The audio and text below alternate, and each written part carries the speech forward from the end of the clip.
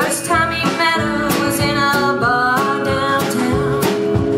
He asked her to dance and she let him spin around. He said "I like you cannot be seen.